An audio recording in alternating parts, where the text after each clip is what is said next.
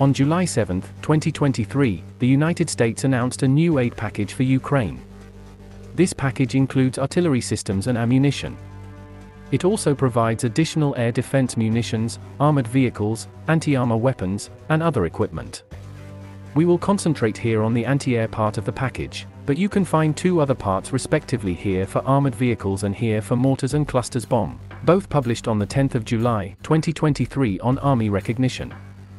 As part of the security assistance provided to Ukraine, additional equipment will be provided to strengthen the country's defense capabilities. This assistance includes additional ammunition for the Patriot air defense systems.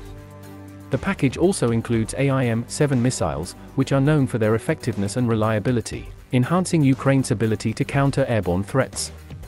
Stinger systems, portable and versatile anti-aircraft weapons, will also be provided to Ukraine as part of the effort to strengthen air defense.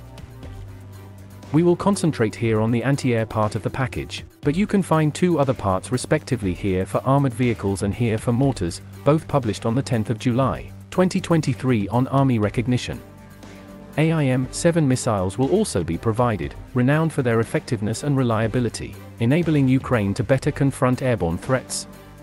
In the effort to reinforce the air defense, Stinger systems will be supplied to Ukraine, which are portable and versatile anti-aircraft weapons. This package includes additional ammunition for the Patriot air defense systems. United States has only supplied one Patriot battery system to date, but other countries such as the Netherlands and Germany are also supplying them. The AIM-7 Sparrow is a medium-range, semi-active radar homing air-to-air missile. Originating from the United States, it has been in service since 1958 and continues to be utilized today.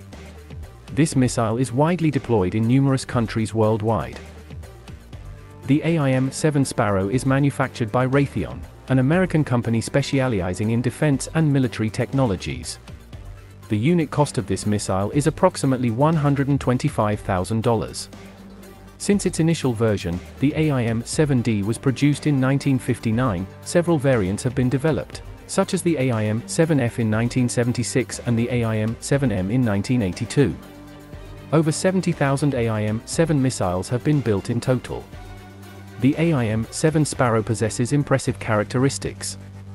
With a weight of approximately 230 kilograms and a length of 3.7 meters, this missile is equipped with a high explosive blast fragmentation warhead.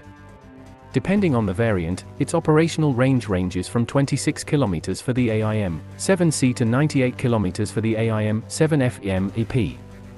In terms of maximum speed, the AIM-7A can reach Mach 2.5, while the later versions, such as the AIM-7C can achieve Mach 4. The AIM-7 Sparrow utilizes a semi-active radar guidance system. The security assistance provided by the United States also includes military training and advisory support, as well as assistance with defense and security reforms in Ukraine. The overall aim of this equipment is to strengthen Ukraine's defense capabilities and enable the country to effectively counter Russia's ongoing aggression. These measures demonstrate the commitment of the United States and its allies to the security and sovereignty of Ukraine. American aid is particularly valuable in the context of air defense, which plays a crucial role in the conflict in Ukraine.